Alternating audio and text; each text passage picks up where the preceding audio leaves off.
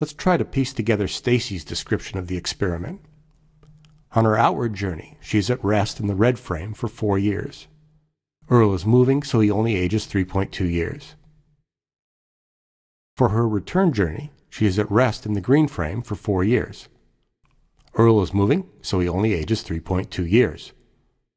Therefore, Stacy might argue that she should end up 8 and Earl 3.2 plus 3.2 equals 6.4 years old. This is the crux of the twin paradox. Each twin considers him or herself at rest and the other moving. Therefore, it would seem, each should find the other twin younger when they reunite. But only one twin can be younger. By symmetry, then, the only possible result is they should end up the same age. But there is a subtle point associated with Stacy's jump from the red to the green frame. In the red frame's bookkeeping, Earl is 3.2 years old when this happens. But in the green frame's bookkeeping, Earl is 6.8 years old. If Stacy goes by the reckoning of whichever frame she is currently at rest in, then she would have to conclude that Earl instantly ages 3.6 years when she jumps from the red to the green frame. Now we plot Earl and Stacy's ages according to Stacy's bookkeeping of simultaneous events. Earl's age is on the left, Stacy's on the right, and the line colors correspond to the frames the twins are in. According to Stacy, Earl ages more slowly. But he suddenly gains 3.6 years of age when she changes frames. He then continues to age more slowly. So when they reunite, she is 8 and Earl is 10. Stacy's explanation of the experiment is as follows. Earl was always moving at a speed of 0.6, so his clock always ran slower by a factor of 0.8. Therefore, during each four-year leg of the trip, he aged 3.2 years for a total of 6.4 years. But when I jump frames, he instantly aged 3.6 years. That's why I'm 8, and he's 6.4 plus 3.6 equals 10 years old. The funny thing about this sudden aging explanation is that nobody actually sees this happen. No red or green frame observer will record a video of Earl passing by when he suddenly gets 3.6 years older. We've already animated the complete experiment in the red and green frames, and Earl's age uniformly increases in both. Here the top panel shows the red frame's view of simultaneous events at the time of Stacy's frame jump, and the bottom panel shows the green frame's version. It's true that the red frame observers see Earl as 3.2 years old, while the green frame observers see him as 6.8 years old. But these events did not happen at the same time at Earl's location in any frame. In both the red and green frames, they happened 4.5 years apart. It's only in Stacy's reckoning that Earl suddenly ages 3.6 years. And this is a statement about something that happened several light years away that Stacy does not directly observe, that no one directly observes. Yet for Stacy, it has observable consequences. It's her explanation why Earl is older than she is when they reunite, even though she believes he has been aging slower than her during both parts of her journey.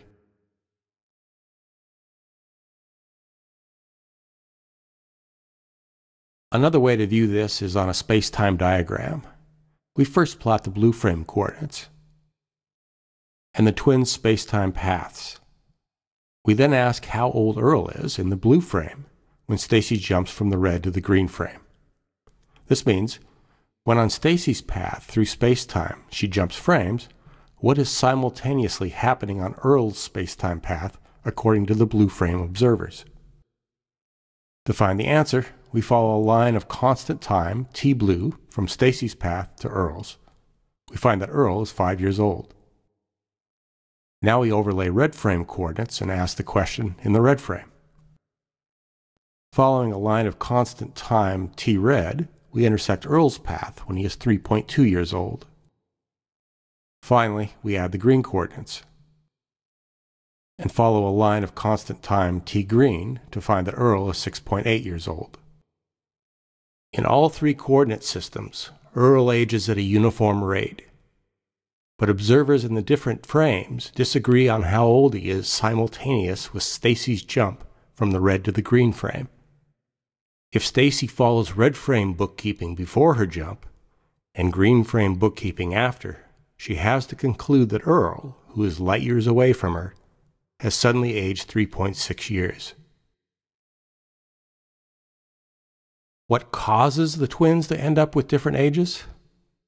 Well, this is just how space time geometry dictates the behavior of clocks moving between two events along different paths. Why do the twins move along different paths? Because one accelerates, and that will be the younger twin. If Stacy accelerates, she will end up younger than Earl. If Earl accelerates, he will end up younger than Stacy. As we did in video 5a, we want to consider what the twins could actually observe about each other in real time.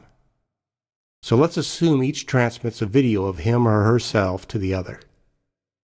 Since the signals travel at the speed of light, this introduces a time delay between sending and receiving. So what the twins see is a combination of their aging rates and the communication delay. Since we're simulating a sequence of events that can be seen in real time by a single observer, all reference frames will agree on the results, and we can do our calculations in any reference frame. We'll use the blue frame. First, let's look at transmissions sent by Stacy at one year intervals. On each leg of her journey, she sends four pulses. On the outward leg, she's moving away from Earl. He finds the pulses are spread out such that at his location two years pass between reception of each pulse.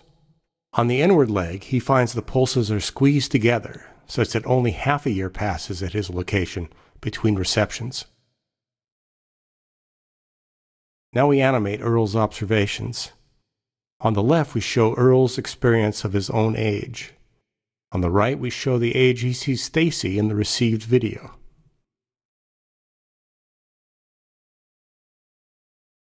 He sees himself age twice as fast as Stacy while she's in the red frame.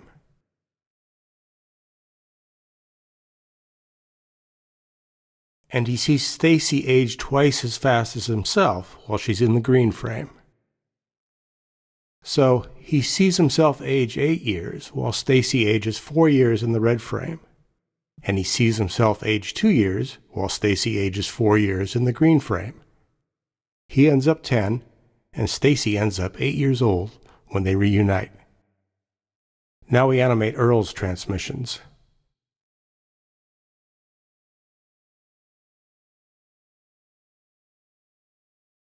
On her four-year outward journey, Stacy receives two of these. On her four-year inward journey, she receives eight.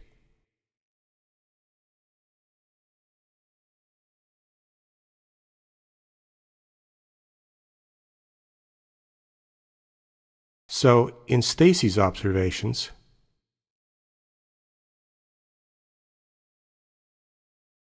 she ages twice as fast as Earl while she's in the red frame, and Earl ages twice as fast as her while she's in the green frame.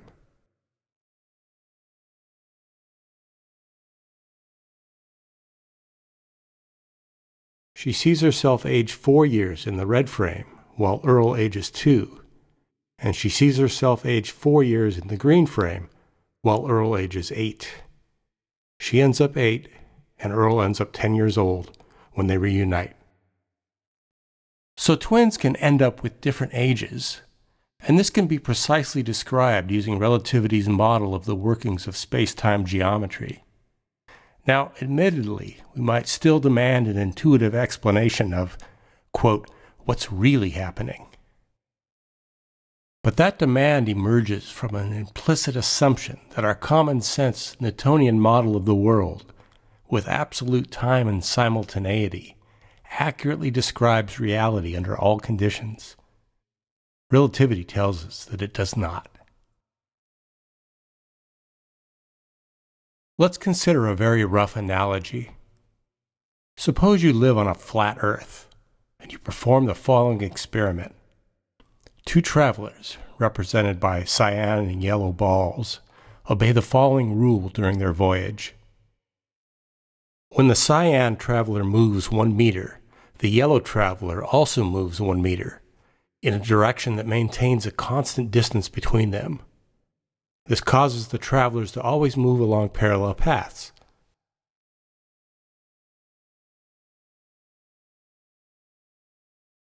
So when they return, they will have the same positions and relative orientation as when they left. Every time you repeat the experiment, you obtain the same result. And this becomes your intuitive understanding about how parallel motion works. But you actually live on a spherical Earth. Eventually, you perform the parallel motion experiment over a much, much larger distance. As before, the two travelers always move the same distance and maintain the same distance between them. But the total distance traveled is so great that Earth's curvature now has a noticeable effect.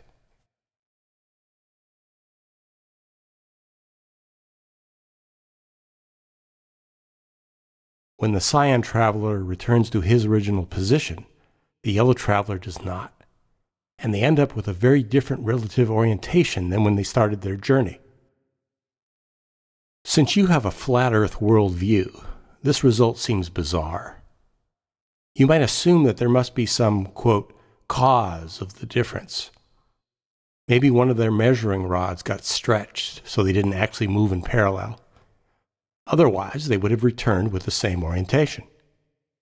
But in fact, at every step of their journey, they did move in parallel. This is just how parallel motion works on a curved surface. At high velocities, the geometry of spacetime, as described by relativity, simply does not conform to our intuitive Newtonian view, where everyone experiences the same absolute time.